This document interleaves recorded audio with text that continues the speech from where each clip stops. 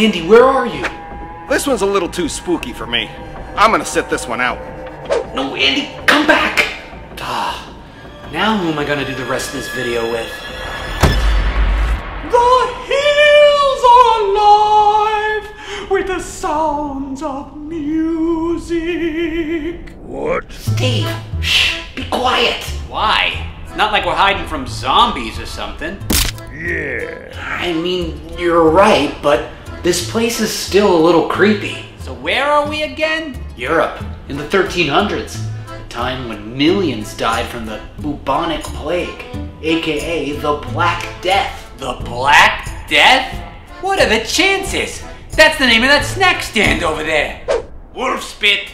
Get your wolf spit. Ice cold wolf spit. What?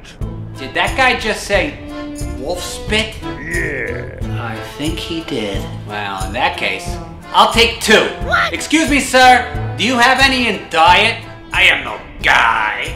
I am Rophoph, the talking Albanian crowbird. The what?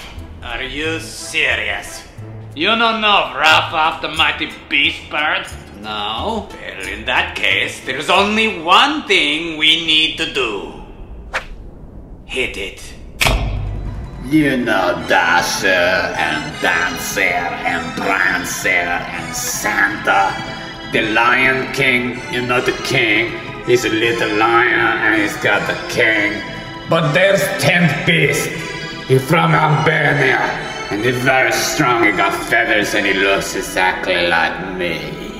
Rophoph the Albanian Crowbird made of pure Albanian steel. Except for his eyes and feathers, he's pretty much Albanian steel. All of the other crowbirds, they're made of hair and wood bone. Okay, enough. We didn't come here to learn about a crowbird. Yeah. We came here to learn about the plague. Ah, yes, the plague. I have superior Armenian knowledge about this topic. I thought you were Albanian. Whatever, the point is, I know a ton about it. Here, let me explain. Ralph is great bird. He like top five birds out of all birds. He greater than the big bird, and big bird's dad, bigger bird, and his daddy's dad, significantly bigger bird, and great grandfather bird, Gregory, What? with two G's. Stop it! We want to learn about the plague, not you. Ugh, fine, here you go. A plague is another name for a large outbreak of a disease. And while there have been many that have occurred on this planet, this one is one of the worst. Originally called the Great Mortality and the Great Pestilence, it eventually grew to be known as the Black Death, or more commonly as the Bubonic Plague. The plague occurred in the mid 1300s and is believed to have started even earlier in Asia and spread to the Middle East. But when we speak of the Black Death, most people are discussing the impact it had on Europe, including countries such as England, Germany, France, Spain, Italy, and more. Where it's estimated to have killed anywhere from 75 to 200 million people. That's about the entire population of Brazil today. The name bubonic comes from the word bubo, which is the word for an inflamed, swollen lymphatic gland. You see, the bubonic plague attacks the lymphatic system of the body, and the lymphatic system is what defends a person from infections. Records of this time detail people having swollen boils that could reach the size of an apple. These boils would ooze blood and pus and were often accompanied by fever, vomiting, diarrhea, and often death. Victims would have damage to their skin and tissue, until they were covered in dark blotches. This is why it was called the Black Death, after the dark blotches people would have on their bodies.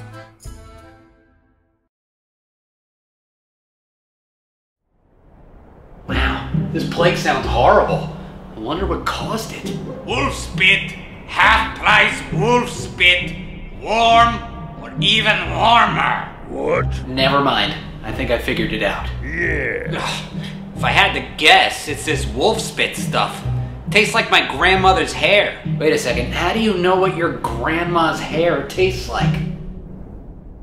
Do you really want to know? No. Doesn't matter. But I do remember that the general grossness of this place does have something to do with how the plague started.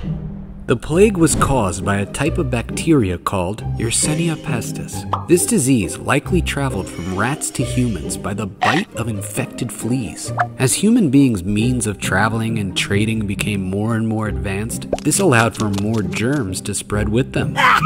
In the past, if a giant infectious disease broke out in a town, it would likely stay isolated to that specific place.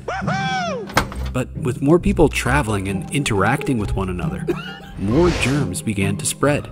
It could spread from the bites of rats or fleas, or even spread through the air.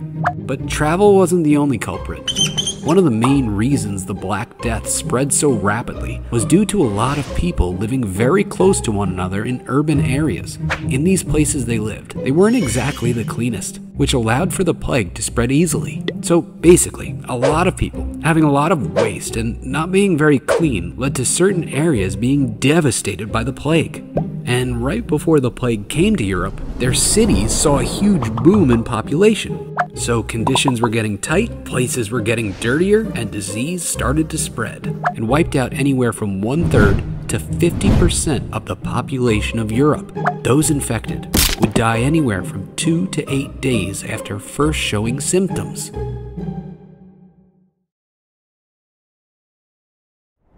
Hey, what were those symptoms again? Black boils. They're really gross and kind of impossible to make. What were you saying?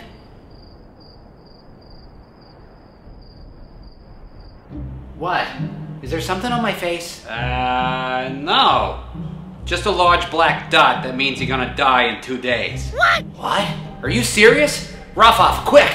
Is there something I can do to get rid of this thing? You're not gonna like what it is. Just tell me, I'll do anything. Well, the first thing you need to do is stay hydrated. Hurry, give me something to drink. Well, the only thing to drink is wolf spit. What? In that case, never mind. I'll take the plague. You're such a weird bird, though. Can't you do normal bird things? Oh yeah, I got the normal bird stuff. Here, watch. Meowth! Meowth! I am normal bird. Did he just say meowth? I'm pretty sure he's combining meow and rough because he doesn't know the noises that birds make. Yeah. Alright, you got me. But please, come on, help me get rid of this black spot. I'll do anything. I wouldn't be so sure about that. During the time of the Black Death, medical professionals thought it was a mystery. They just didn't have the knowledge at the time to think that staying clean could keep germs away. All right, did everyone go to the bathroom before we start the surgery? Yeah! Did you guys wash your hands? No! Good.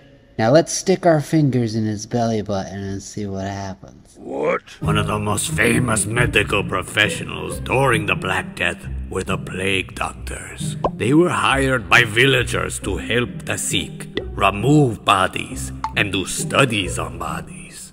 One of the things they did was called bloodletting, where these doctors would use leeches to draw the blood of the infected. The plague doctors were characterized by their sticks used to poke bodies, long robe and boots, a mask with glass eye holes, and a beak filled with different plants to help them not smell the grossness of the bodies around them, and because they thought it would prevent the disease spreading to them. At the time, there was no cure. Today, it could be easily treated with antibiotics. But still, there are anywhere from 1,000 to 3,000 cases of the plague every year. But back then, the only survivors were people who avoided infection and those whose genes had a slight mutation that may have made them less susceptible to the sickness. But still, the easiest way to get rid of the plague is keeping clean. But even if the plague were to spread today, it wouldn't stand a chance against today's medicine. So all we need to do is go back to our own time. Yeah? Take some medicine, Uh huh. and then boom. We drink wolf spit. What? I was gonna say we'd get rid of the plague. You better hurry. Very few people survive the plague when it hits, so you better go. You got a point. Oh, let me pack you up some wolf spit before you. Hey, you guys forgot your wolf spit. 724 years later. And finished. Hey, your black mark is gone. I know. I'm like 100% now. It's kind of sad though that very few people survive the Black Death. I was thinking the same thing. It's kind of sad. Hey, we should celebrate our survival with a toast. I can have Crystal Pepsi, and you can have. Ice cold. Wolf spit?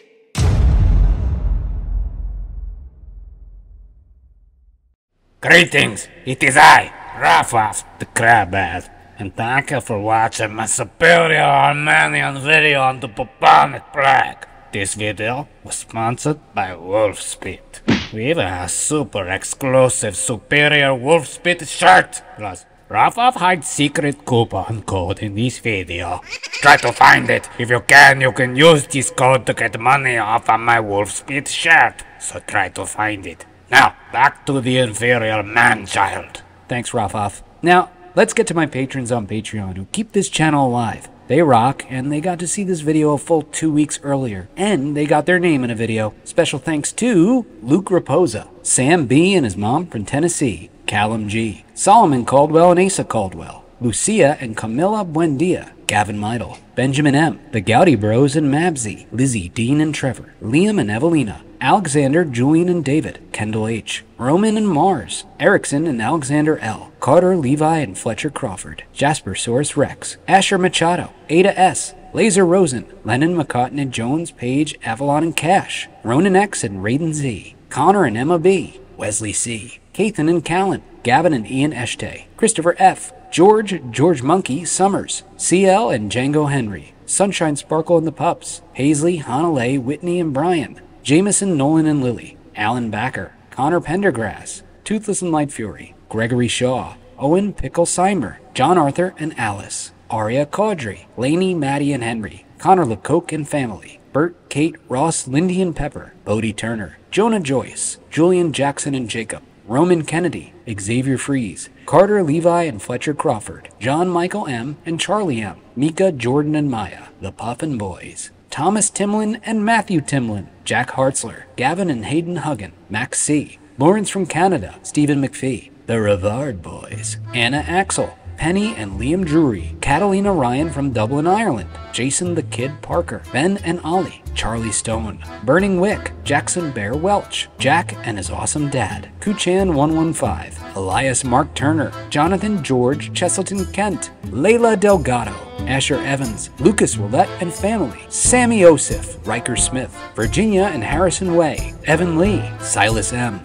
Ellie Moon and Noah Orion, Hawthorne and Willow Tree, Marley and Lennon Kimsey, Sophie and Remy Keffer, Zane and Asher Davis, Connor Higgins, Max and Kaz, Sam and Eddie from London, Liam, Basil and Louie, JJ Schmidt, Rebecca Beanie, Oshi, and Lava Liam. I think you should probably get your name in my next video. And if you really want to, visit patreon.com backslash Mr. DeMaio. If you sign up, you can help me pick my next topic, see my videos early, and more.